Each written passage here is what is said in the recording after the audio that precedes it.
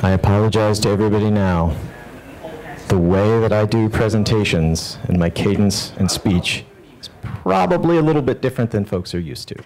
But at the very least, I hope you're entertained. So it is exactly 1145, so we should go ahead and get started. So we are here to continue talking about Envoy. Um, specifically, I'm going to talk, or Bill and myself are going to be talking about some of the OpenSSL handling uh, that we've been doing within Envoy. And to kind of get into this a little bit, that's me. Folks tend to call me Redbeard. Uh, Redbeard is not my given name, but if anyone can help me understand why I get called that, that might be useful.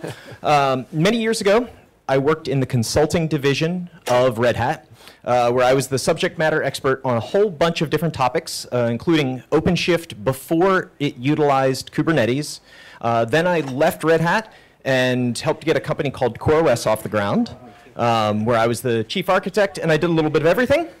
And, you know, I love talking about Kubernetes, so if anybody, you know, I'm very slow to respond to email, but if anybody wants to kind of talk to me on WeChat or anything like that, happy to take the time and, you know, take it from there.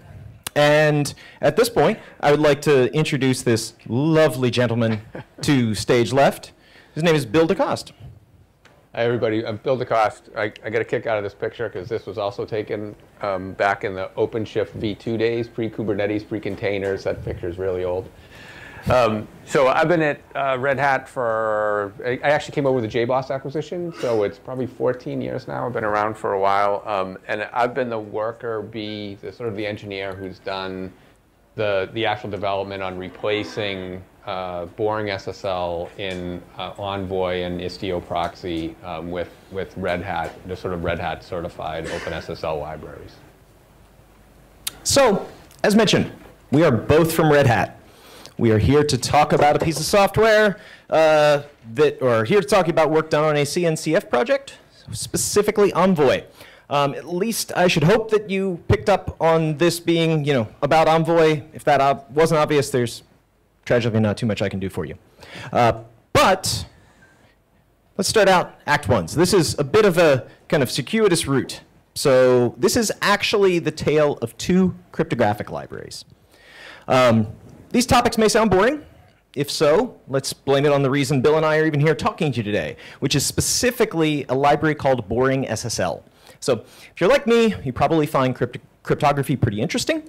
Hopefully, during the course of this presentation, some of the nuances we'll be talking about uh, will shed light on how one library can actually matter so much. We'll also be talking about OpenSSL and the differences between that and boring SSL. We'll need to, if we're going to make any sense out of this. So, where are we going with this? For many folks, the differences between these two pieces of software lies somewhere between being transparent and irrelevant. This may even lead you to be asking where I'm actually going with this. You know, like, is this even important? There's a lot of great content that's happening here today. And if you don't care about the nuances between boring SSL and OpenSSL, I'd ask that you seek out a talk that actually resonates with you. But for the folks that do stick around, I'm sure that you know, some of this will be interesting even if you still don't think it's important by the end. But I've digressed a bit. Let's get everything back on track and go back in time. Specifically, we're going to go back to the 1990s, a more simple time before encryption on the World Wide Web.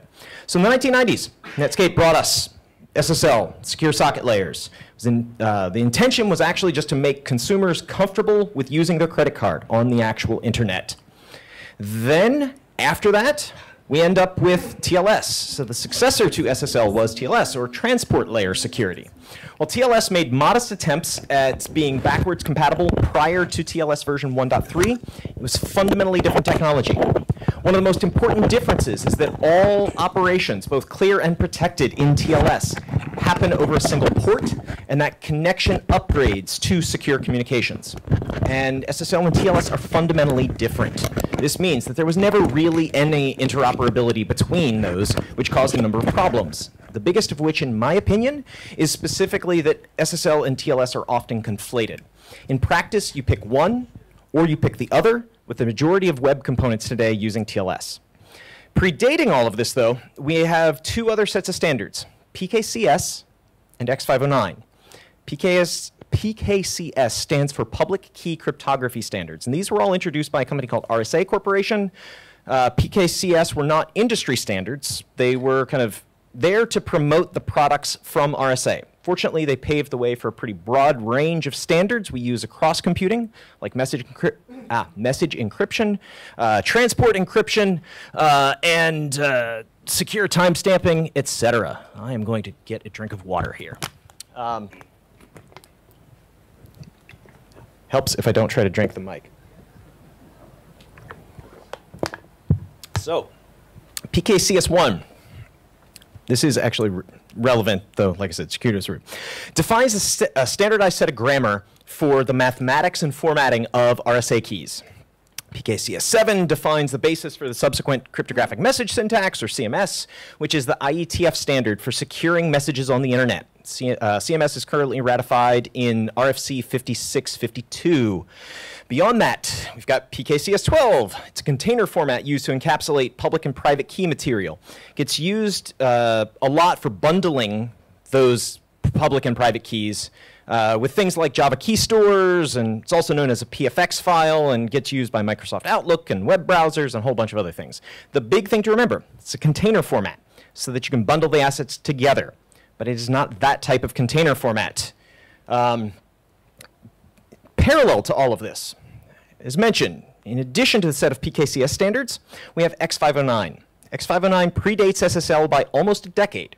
You know, you know, this is a thing before uh, Netscape kind of assembled this so that folks could put credit cards on the internet. In the end, it's really just an encoding mechanism. Was built on top of the ideas of public key cryptography and utilizes uh, ASN1 syntax behind the scenes. Now, so we realize that X509 is just a structuring and a grouping mechanism. It should start becoming clear that X509 is independent of and orthogonal to SSL and TLS. Sure, both SSL and TLS utilize X509, but X509 can also be utilized without SSL and TLS. So why does this matter? We're, you know, five, ten minutes in, and I've thrown a wall of acronyms at you. You're probably asking yourself, you know, like assuring you or assuming that you did decide that this was important, you know, and you're still here on slide 13. Why does this matter?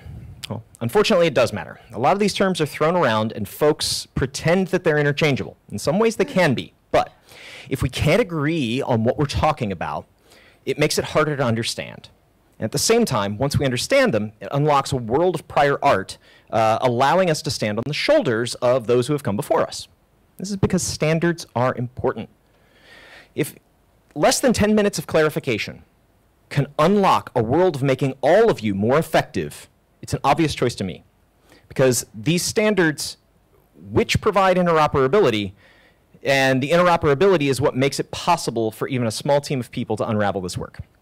So, where do we end up with, with boring SSL and OpenSSL and all of this? Well, ultimately, the way that we got here, the reason why these exist, comes down to Heartbleed. Heartbleed and Google. So after Heartbleed was released, a collaboration began on a fork of OpenSSL. The intention was to provide a fork of SSL that had been put on a diet, removing large swaths of code to make it more straightforward for the average user to understand. In addition, it became doubly pressing because of the threats of Google present the threats to Google presented by the U.S. government. Uh, in parallel to this, it is important to note that Google's desire to create boring SSL stems does not stem from actively vulnerable code. It just, it's there, or uh, it was more that they wanted to make it hard for users to know. Sorry, I wrote all of these notes in to make it easier for the translator, um, and I've lost my place. Uh, it makes it hard. Uh, bah, bah, bah yeah, the complexity of OpenSSL makes it hard for users to know what they're implementing is objectively correct. The, they were maintaining an increasingly large patch set, patch set on OpenSSL and decided that they'd had enough. At Red Hat, kind of completely unrelated to Google, we have to make decisions for millions of customers, not just one customer. You know, Google has more or less one customer, their internal users. We have users that care about many, many different things, and for us, one bug doesn't justify throwing out years of expertise, tooling, etc. So, enter Lyft. And by Lyft, I actually mean Twitter, because none of this is straightforward. Um, Twitter had invested a lot of time and effort developing the ideas that we commonly call a service mesh. Matt Klein and some other folks, uh, you know, uh, William from Buoyant and you know some of the folks uh, formerly, um, not from Tetrate. What was the other uh, service mesh company that um, was working on Envoy? I can't remember their name. Um, there were a bunch of folks at Twitter who all worked on service mesh tooling, but the majority of it was never open sourced. So the developers all, when they left Twitter, had to start over and re-implement all of these ideas. So at Lyft, Matt started working on the proxy server that he wished he had when he worked at Twitter. And that was Envoy. And Envoy actually began its life with OpenSSL. But then, specifically, issue number 152, we end up with replace OpenSSL with boring SSL. And you know, we have you know, this kind of decision coming in from Matt. And he says, I mainly wanted to switch because I know that you all, meaning Google, will help make sure we are up to date and secure if we happen to use boring SSL. And Piotr says, well, there's no reason why we can't support both. They're mostly API compatible. Fair enough. Sounds reasonable. Personally, I like that. You know, being able to maintain or have the Google folks maintain what matters to them, other parts of the computer, uh, community maintain what matters to them is perfect. Unfortunately, time is a fickle mistress, because then we get to issue number 3404, where it gets called out that the answer around adding back support for OpenSSL is absolutely not. They're migrating completely away from it. Folks from Akamai made this request because this is the things that they need. And this is where the Faustian bargain comes in. Why would the project decide to make such a turn? Well, to look at that, we actually have to look at the charter of Boring SSL, which is that it is designed to meet Google's needs. And while it is an open source project, it is not intended for general use, as OpenSSL is. They do not recommend that third parties depend on it. Doing so is likely to be frustrating because there are no guarantees of API or ABI stability, which Bill will touch on a little bit. And therein lies the challenge. You know, switch was made to the project, which is not necessarily aligned around what we traditionally think of as community. It's aligned around the interests and expertise of a single corporation. It's understandable, though, and I don't fault Google for it. When the community was much smaller, it made sense to consolidate around the opinions and needs of the specific groups maintaining specific pieces. But as we grow the project, the nuances of other members of the community become more apparent.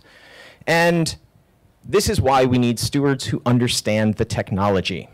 That's why the knowledge of the standards and how they work are important, which is where we get into Act Two. So, at Red Hat, we have products and we have projects that we collaborate on. This is how we balance supporting the things that we sell as a company and the kind of things that we give away for free to our users. This means every product has one or more upstreams. In the case of OpenShift Service Mesh, the product we, uh, we compose a number of projects together. So this is going to be the open source projects, Istio, Kiali, Jaeger, Prometheus, etc. Envoy is the upstream for Istio proxy, but Envoy is not Istio proxy. And I don't want to focus on Istio since this is a CN, uh, this is a Cloud Native Con talk, and Istio is not a Cloud Native uh, Computing Foundation project, but it carries a patch set atop Envoy to create the component Istio proxy. So there are some differences here, and Bill is going to spend a few minutes talking to us about these changes, uh, or the changes that brought the Istio patch patches along. And now, a word from Bill. Okay, everybody hear me? Yep, yeah. Um, okay, so the, when I, I first started doing this about a year ago, right, and I'll, talk about sort of why why we did what we did and how we did what we did to to bring OpenSSL. Oh, sorry, to bring OpenSSL um, in, into Envoy. Our, our sort of mandate was, was Istio proxy, but 99% of Istio proxy is really Envoy, right? The core of it is, is really Envoy. However, there are some pieces that if you go take a look at the source up in GitHub under Istio proxy, there's, there are some additions that they drop on top of Envoy that are Istio-specific functionality. The couple that kind of come to mind is some SNI functionality in there. Um, and these are all the SSL TLS specific ones for, for S SNI and also for, um, uh, for JSON Web Tokens for, for JWT. Um, those are the two pieces. However, over time, just over the last year that I've been working on this, I've seen a whole bunch of that stuff, particularly the JWT stuff, get pulled out of proxy because now Envoy is, is doing it natively. So I, I think the differences over time I've seen shrink. But I, I think the distinction um, that, that Redbeard made is really important because a, a, a, lot of people think that Istio proxy is exactly the same as Envoy. And, and there are some, they're, code-wise, they're relatively small, but I think they're significant. Um, but, but over time, they're, they're becoming kind of less and less. So, my kind of plea to folks is to ask questions. You know, but really, why does Red Hat care? You know, Envoy, Istio proxy, why does it matter what SSL library is actually used? You know, tragically, it matters because of this word salad. So within the US, there's this thing called, actually the US and Canada, it's called the Federal Information Processing Standards. Document number 140, revision number 2, also known as FIPS 140-2. What? So the correct look for this is a glassy-eyed stare dreaming of something far less boring than government regulation. But FIPS 140, or FIPS defines the standards around uh, the agencies of the federal government, around the way the agencies of the federal government handle uh, information processing. Specifically, FIPS 140-2 focuses on cryptographic mechanisms, uh, and more importantly, may, may and may not be used. Beyond that, it also gets into the details of like how random number generators can work, uh, how tamper evident, tamper evident and tamper proof mechanisms work on hardware devices, uh, et cetera. Beyond that, many governments and private companies adopt the guidance of FIPS 140-2 either because they do business with the US government or the Canadian government, or because they just don't want to reinvent a wheel. So, you know, aspects of uh, security divisions within smaller governments will often uh, just go, okay, we're going to download all of the documents for FIPS. We will start from there, and then we will make the changes, you know, the patches to the document that we need uh, that way. So even other nation states use these standards as a rubric for developing their own guidelines. So some examples here, you know, FIPS 140-2 uh, defines, you know, uh, things like, hey, you can use uh, AES, you know, which is really uh, some opinionated RSA. Uh, you can use certain types of ECC, but you can't use DES. You know, you can't use triple DES with less than three keys. Um, you can't use RSA with less than uh, you know 2048 bits. So that means you know things like ED 25519, you can't use it, despite the fact that it may be more secure you may not use it because it has not been proven that way. So this all seems completely reasonable. Like, but if you change the code, you have to recertify it. I'll repeat that again. If you change the code, you have to recertify with an independent auditor to re-get your FIPS certification. It's kind of weird. This is a massive pain in the behind. Certification is conducted by these independent auditors that are contracted by the vendor who produces the software. Due to this, it generally takes a minimum of three to six months and can cost over $100,000. So again, three to six months and can cost over $100,000 anytime you make a code change. At Red Hat, we have an answer to this that enables us to work around it a little bit. It's called the OpenSSL capsule. So it's a special way of running OpenSSL which allows us to simplify this. It separates OpenSSL into two halves. When OpenSSL was running capsule mode, uh, we express OpenSSL as multiple discrete components. This means that all of the cryptographic code, which, for example, implements the mathematics behind RSA, uh, live in one binary, while the code that handles the uh, sending heartbeat packets in a malformed way lives in another separate shared object. This means that the cryptographic code can be certified and only needs to be recertified if something wasn't implemented correctly mathematically. This is actually critical for our uh, certification workflow. By doing this, it allows us to certify and audit that single binary for almost all Red Hat products. By running the system, you know, literally booting the kernel with FIPS equals 1, you tell the kernel the Golang binaries Apache HTTPD, OpenShift, Ansible, you name it, to bypass any internal cryptographic mechanisms that they have and instead use the OpenSSL capsule. It also means we don't have teams building their own cryptographic implementations and potentially messing that up. So, important points to note out about this. FIPS mode, it is not used by default. When enabled, it affects the kernel, Go, and other binaries. But enough about that. You've been listening to me talk about the non-technical things, which I'm sure is not why any of you are here. So let's hear some more from Bill about the work, uh, the changes that were required, and who else was involved. Thanks, Redbeard. Um, okay, so what what I want to cover, I'm going to go through maybe five or six slides, um, and please, if there's if there's questions, please jump in. Um, what I want to really want to cover is what we've done with with Envoy, why we did it, why we Red Hat did it, um, because there's some. It, it's it's not as simple as just going and and sort of being able to plug in uh, OpenSSL instead of boring SSL. We've got some. If you go and kind of dig around in the code, who who here? Let me back up. Who here has actually built Envoy? Like gone and downloaded the Envoy source and built it? One, two, three. Okay, it is. It really is. Uh, especially if you've been doing Istio, right? Istio builds really, really easy, and building Envoy is not trivial.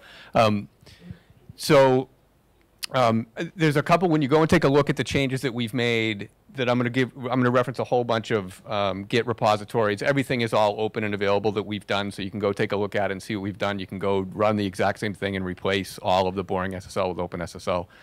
Um, I'm actually going to step down, if that's okay. Can you guys see me back there?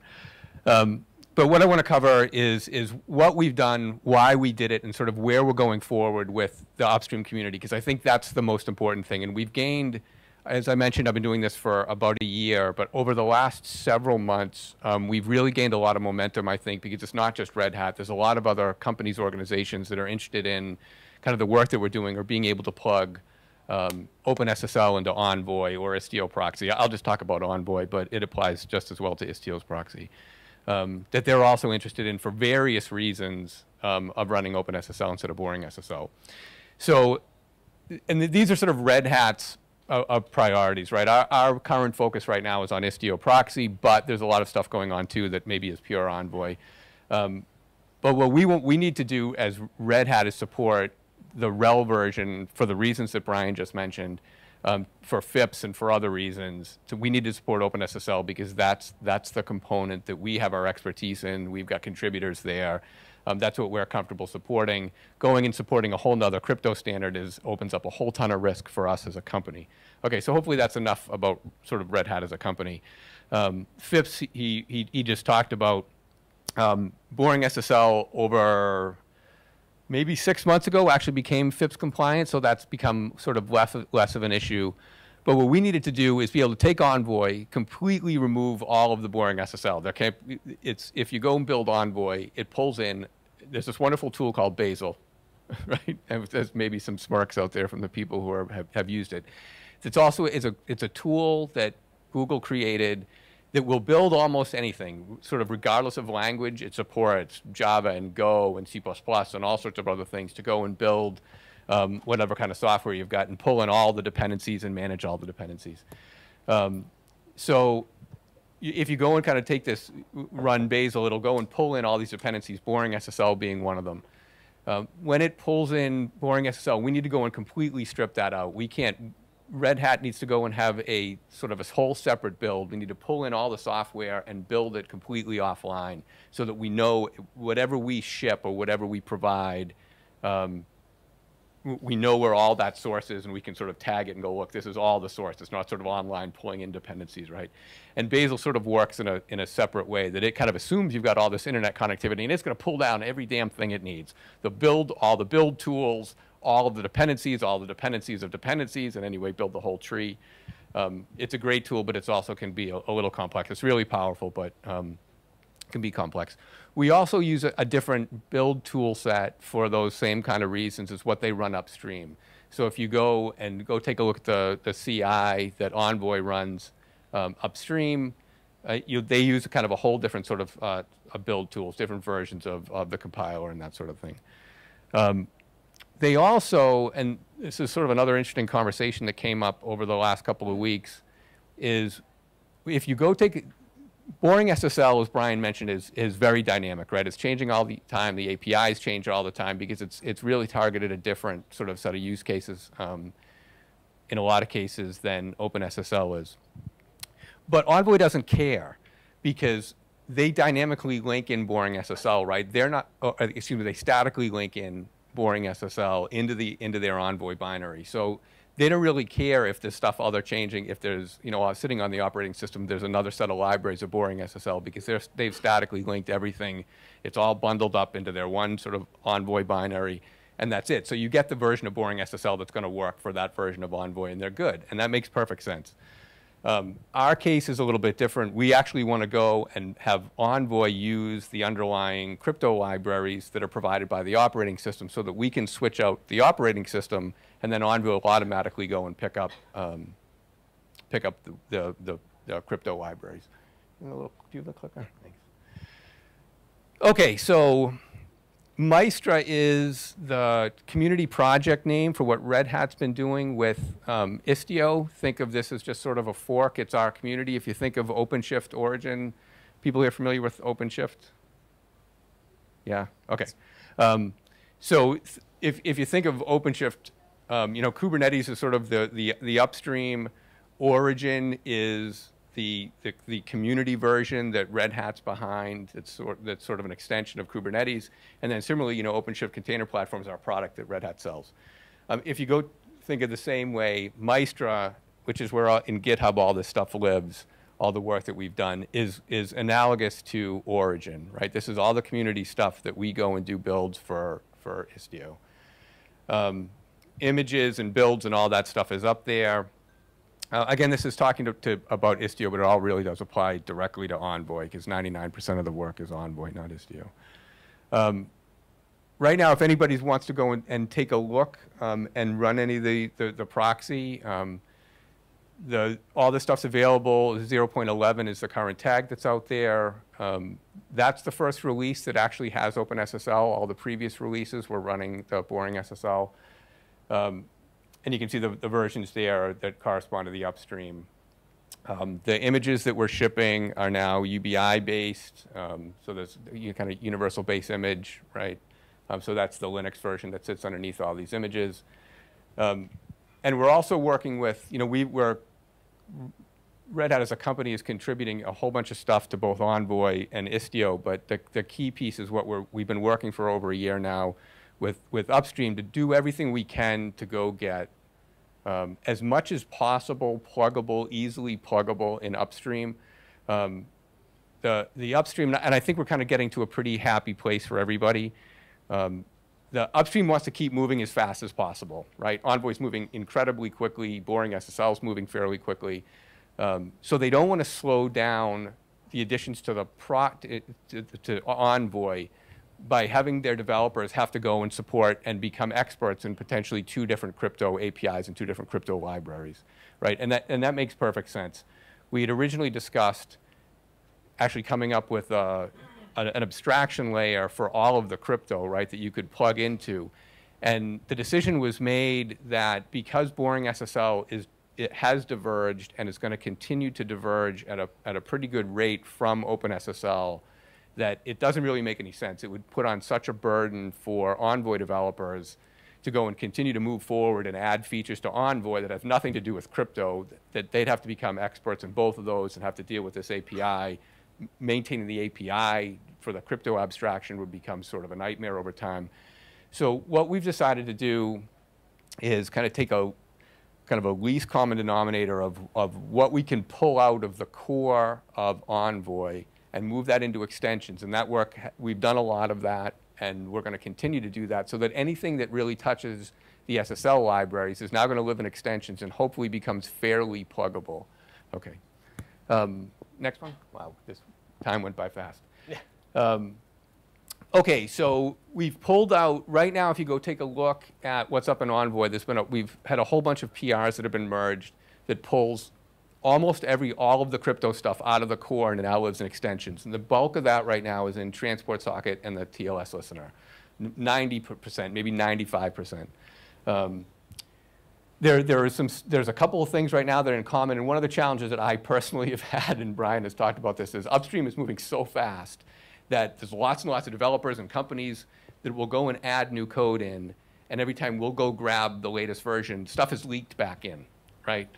So, and I'll have to go back, and they're against a boring SSL API, and they break the work that we've done, and I have to go back and refactor all the, the replacement work. So this is, it's been sort of a cyclical process, but I, though I can kind of see the light at the end of the tunnel at this point. Um, a, a perfect example of that is the, for the QUIC protocol. They recently went and added support. They've been had support for QUIC, but they actually pull in Quiche now, which is a library from Chrome um, that the Chrome guys came up with that has very specific boring SSL. They're including include boring SSL slash blah blah blah. Like it's very it's not even open SSL slash something that happens to be a boring SSL library. They're really specifically got in the code boring SSL. So this is a problem for us. Um, but this is this is sort of just one of the challenges we've got because there are dependencies that that, that Envoy pulls in that do have uh, boring SSL dependencies. Um, here's the really the good news. This is last Friday, right? If you look at the date on Friday, the upstream guys, um, Matt Klein agreed to. They they they have opened. There's now a repository for OpenSSL Envoy um, that that they're going to go. We're going to go and put all the work that we've done up there. And every time there's a merge into Envoy, they're going to go trigger a CI build of the OpenSSL extension. They're not going to stop anybody. It's not going to block a merge if it fails, but it's going to start to flag stuff, right? So, and it, for this is huge, right? Because then if you have a conscientious developer who goes and says, "Hey, I went and maybe I shouldn't have leaked this SSL code. I put it in the wrong place." They'll probably accept my merge because they want to keep things moving, but maybe I can rework my pull request, right, and put it maybe where it belongs. Um, and so that's a, that's a big one for us. This is literally what I'm going to be doing next week, is going and actually populating that, because if you go look at the repository, it's empty, because I've been on a plane coming here um, since the repository was created. But this is kind of really big news for us. Um, okay, next one, down to three minutes. These, so uh, these are all just sort of for reference, right? So what we've done is, is for each one of the components and for each one of the dependencies, we've gone and created sort of a similar pattern of how to replace the, the uh, boring SSL with all the open SSL. So we've got sort of a process on the next slide, and we're probably not going to have time because I'll give a couple minutes for questions. But what happens is, um, yeah, can you- hit the next one?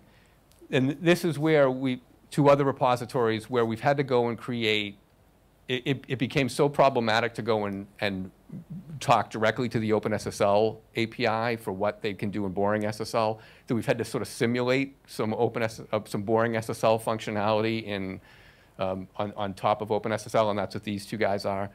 Um, But, so what happens is we'll go and pull an Envoy, and we run a script um, for each one of the core components and from each one of the dependencies, and that will go and update. It'll, it'll change the Bazel configuration for the build. It'll go pull out all the, uh, the, the boring SSL specifics, replace it with the OpenSSL, um, the corresponding OpenSSL code, and, and then go kind of go do the whole build. So the, this is definitely for reference. Um, and the, the kind of key point of all this is if, if you're interested, all this stuff is upstream. It's, got, uh, it- it's all available. It's all in Maistra, up in GitHub. And hopefully very, very soon, like by the end of this week, a lot of this, by the end of next week, hopefully a lot of this stuff will be in actually Envoy proxy upstream, and it'll be available there and, and be hooked into their CI soon thereafter. I think we've got one minute.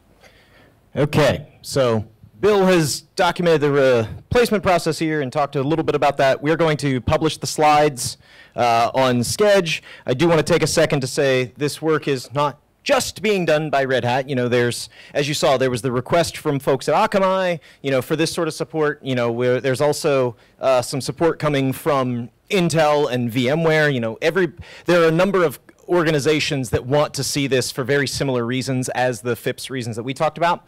So to summarize what we've been talking about here today, the choice of uh, SSL or TLS implementation that you uh, use has profound effects understand why you're making the choice that you are, and join us in helping to uh, work on this and collaborate. Thank you very, very much. Very honored to present you here today. Yeah, thank you. And I, I, I just, I just want to sort of exaggerate the Red Hat. You know, everybody's saying that all, all everything that it's going on here is is is not vendor specific, right? And when it was just Red Hat, well, we need OpenSL, we need OpenSL. Upstream really doesn't care, right? That's a one vendor thing. It, we really didn't get any momentum until VMware and Intel and all these other guys said, hey, we've got, they've got their own reasons. They're different from Red Hat's. But there's, a, there's sort of enough commonality right now that there's, a, there's enough momentum gaining that now we've got a repo right up in Envoy Proxy because it's, it's, I really want to thank those guys. And if there's anybody who has the sort of the same OpenSL um, kind of drivers for who you're working for, please let us know and get involved because the more and more people, the more momentum we can get for getting OpenSSL uh, upstream, the better. Thank you. Yeah, thank you.